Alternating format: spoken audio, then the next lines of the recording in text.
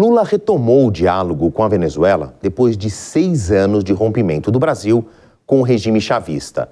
O presidente Nicolás Maduro foi recebido no Palácio do Planalto com honras de Estado e apresentado à imprensa como um injustiçado. O tratamento dado ao venezuelano chamou muito mais a atenção do que o real motivo da visita. Maduro subiu a rampa do Palácio do Planalto, escoltado pelo regimento da Cavalaria de Guardas. Lula o esperava na porta para o cumprimento oficial.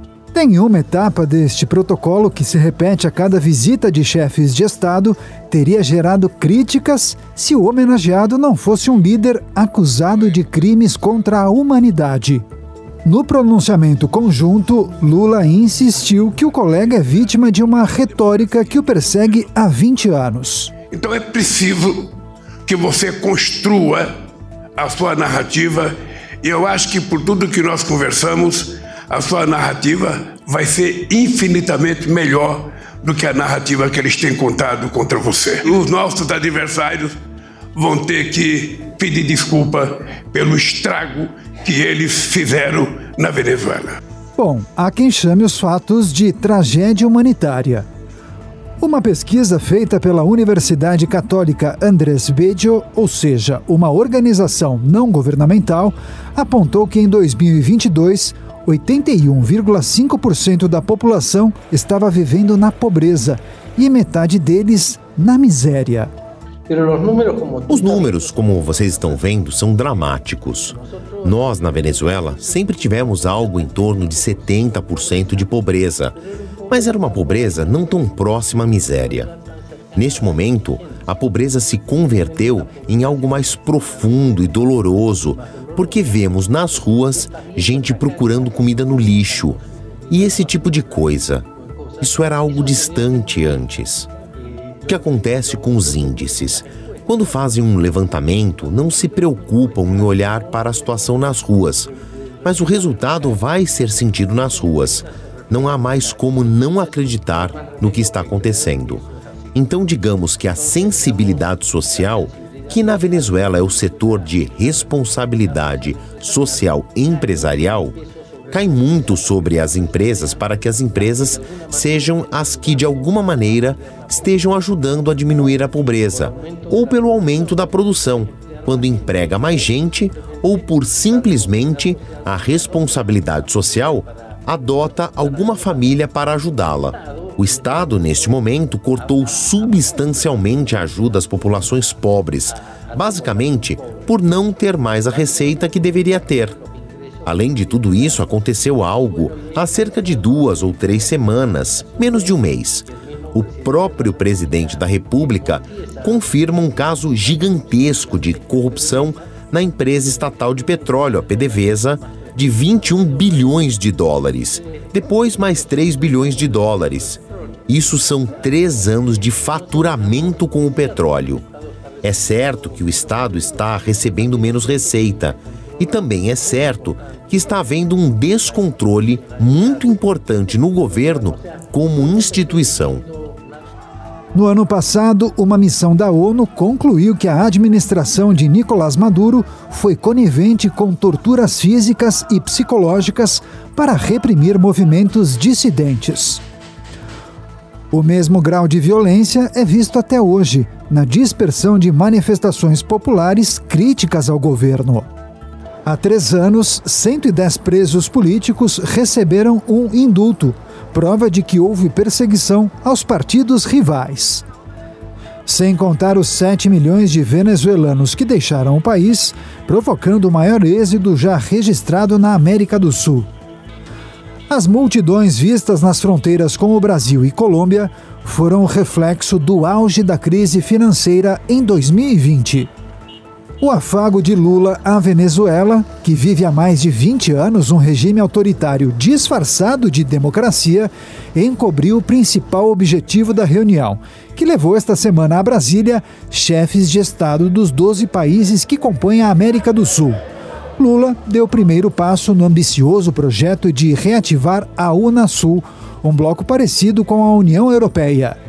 Veja que na União Europeia, quando houve o acordo para adoção do euro, uh, as economias elas eram muito diferentes. Então eu tinha lá a Espanha, Portugal Irlanda, que eram países mais atrasados, a Grécia também, e do outro lado eu tinha Alemanha e França, países muito mais desenvolvidos. Teve que ter investimentos bastante pesados para ocorrer essa unificação de moeda. Mas mesmo assim, essa unificação ela é bastante questionável. Por quê? Porque quando a gente adota o euro, a Alemanha passa a ter uma moeda entrando para o euro comparativamente ao que ela tinha antes, uma moeda mais desvalorizada, o que favorece as exportações da Alemanha. Por outro lado, a Grécia passa a ter, da noite para o dia, uma moeda mais valorizada comparativamente à moeda grega anterior. Só que isso para a Grécia se torna um problema. Por que, que isso se torna um problema? Porque a Grécia é um país que vive do turismo, portanto, quando tem uma moeda desvalorizada é vantajoso, atrai turista e também de exportações, eh, principalmente de produtos alimentícios. Então, quando ela entra para o euro, as exportações gregas acabam ficando prejudicadas e também uh, o turismo na, grega, na Grécia acaba ficando também uh, prejudicado. Então, veja a dificuldade, mesmo na União Europeia, no continente europeu, de você conseguir uh, equiparar todas essas economias. Acordos comerciais sem barreiras alfandegárias, sem protecionismo, eles são muito benéficos. Tem uma teoria econômica é, que fundamenta isso, que melhora a situação de ambos os países. Então, por exemplo, o Brasil, ele tem uma indústria que ele poderia vender bens industriais, carro, é, avião para a Argentina, em contrapartida, comprar vinhos argentinos. Né? Então, isso, é, a própria teoria endossa isso, a evidência internacional também mostra que isso é favorável, evidência internacional e empírica, né? porque aumenta o fluxo de comércio entre os dois países, né? Isso é a teoria das vantagens comparativas, teoria das vantagens relativas entre os países. Então, com mais fluxo de comércio, cada um se especializando naquilo que tem vantagens naturais, né? Vantagens específicas. Você, ao invés de eu produzir vinho, não, eu deixo para a Argentina produzir, ela se especializa naquilo que ela é muito boa e eu vou me especializar, por exemplo, na produção do agronegócio, né, de soja ou mesmo aqui de carros para a Argentina, o que seja, né? Uh, e isso traz crescimento econômico para ambos os países, portanto, geração de empregos, redução da pobreza. Então, isso é bastante vantajoso, um acordo comercial. Então, isso eu defendo, eu acho que isso é plausível de se fazer. O que é muito difícil é estabelecer uma moeda única, porque a moeda única depende de uma inflação muito parecida e controlada entre os países e também tem um outro ponto, né? Como a política monetária vai ser bastante parecida, a política fiscal, embora ela será diferente, mas ela não pode ser muito diferente, porque a política fiscal de gasto público afeta a política de juros, afeta a política monetária. Então, indiretamente, eh, eu tenho que ter também uma política de equilíbrio fiscal entre estes países, o que na atual circunstância a gente está muito longe disso. Agora, um acordo comercial, regras comuns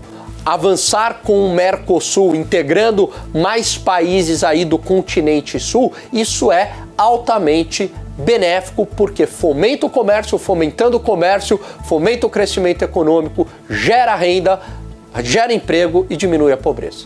Se por um lado as dificuldades são imensas para integrar economias com perfis tão diferentes, por outro, a união entre os países da América do Sul colocaria o Brasil em uma posição natural de liderança.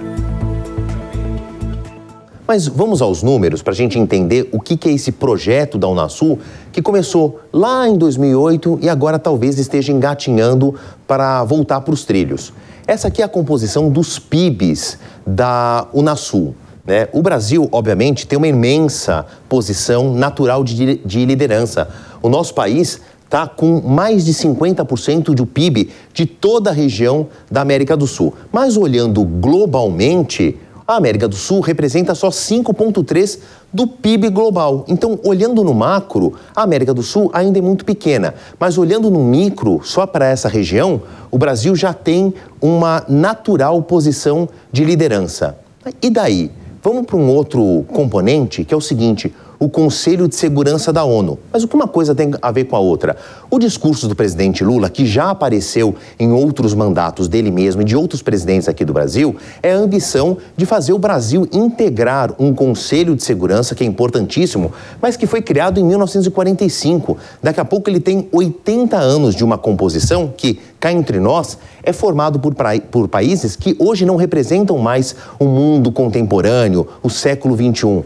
Estamos falando aqui de um corpo que são 20 países e apenas 5 têm assentos permanentes. Não tem ninguém da África, que é o maior, é maior continente com número de países, tem ninguém da Oceania e não tem ninguém da América Latina, entre outras regiões do mundo. Então, obviamente, o Brasil teria uma posição de destaque, né? Voltando a dizer que nós somos já 50% do PIB da região, então o Brasil teria uma posição de destaque. Volto a esse exemplo. Se o Brasil conseguir ser um fenômeno na nossa região própria, fica mais fácil uma ambição de querer fazer parte de um conselho muito maior. Então, entendamos as implicações políticas e talvez as vantagens econômicas da gente retomar a Unasul.